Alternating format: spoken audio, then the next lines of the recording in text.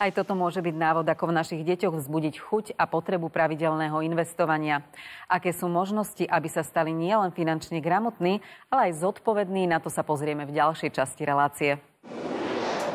keď sami používajú kartu, sami používajú účet, občas si to s dieťaťom vlastne aj pomenovať, že čo teraz robím, platím, odkiaľ mi prišli peniaze na ten účet, ako vlastne vznikajú, ako k nám prichádzajú, na čo všetko ich potrebujeme. To postupnou skúsenosťou toho dieťaťa sa to dieťa učí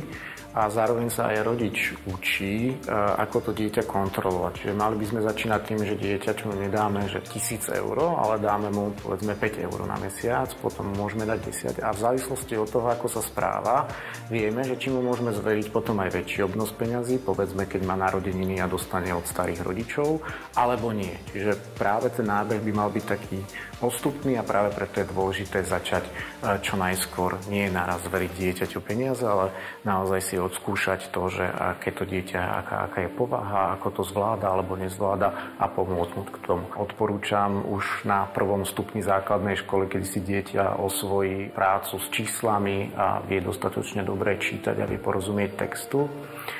zveriť mu platobnú kartu a posielať mu vreckové nie priamo do jeho peňaženky v minciach alebo v papierových bankovkách, ale posielať mu peniaze na účet a nechať mu priestor,